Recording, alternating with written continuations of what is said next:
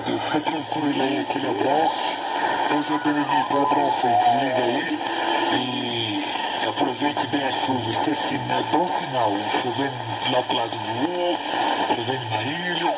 Já tô aí pro, pro interior tudinho essa água.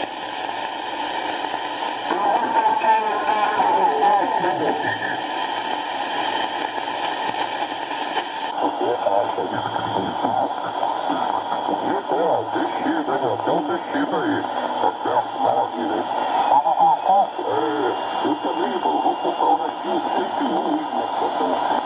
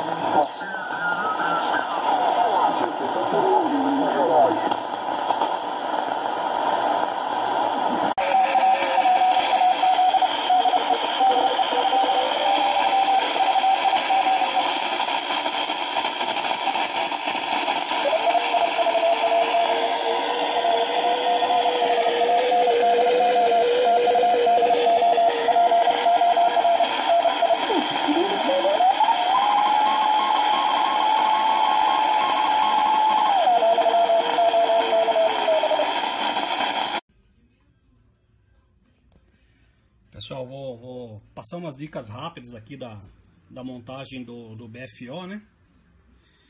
É, o esquema dele é esse aqui, ó.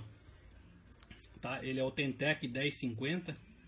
Era vendido, vendido em forma de kit, né? E eu redesenhei a plaquinha dele aqui em duas versões, né? Essa aqui é a versão com a bobina de, de 10 milímetros, né? 1 centímetro. E tem uma outra versão aqui que é utilizando a bobina de 7 milímetros, tá? Bom, no esquema, vocês estão vendo aqui o D2, ele está apontando, o catodo dele aqui está sendo aterrado, né? E o anodo aqui, junto com, com o catodo desse D1. Aqui está errado, viu pessoal? Isso aqui está errado, tá? Esse diodo aqui, ele é invertido. Então, na, no desenho da placa que eu fiz, segue a orientação do desenho da placa. Não considera isso aqui não. Se montar dessa forma aqui, não, não vai funcionar. Vai funcionar, mas não vai funcionar de acordo. Tá bom? Pessoal, aqui ó, bobina. A bobina que você for utilizar, ela pode ser tanto amarela, a branca como a preta, tá? Que é a primeira, segunda, terceira FI aí. De AM, tá bom? Importante é que ela tenha um capacitor de 180 picofarads aqui embaixo, ó. Tem que ter o capacitor. Lógico, você vai pegar o primário dela, que são esses três terminais aqui. Você vai medir a continuidade neles. Tem que ter continuidade nos três, tá? O ideal é com LC meter você fazer a leitura aqui entre os dois extremos. Ele tem que dar aproximadamente aí 680 micros, um pouco mais, um pouco menos, tá? A bobina de 7 milímetros é a mesma coisa, tá? É, com a diferença que eles, elas têm umas cores diferentes, se eu não me engano, tem uma verde, que é último estágio de FI, pode ser usada também.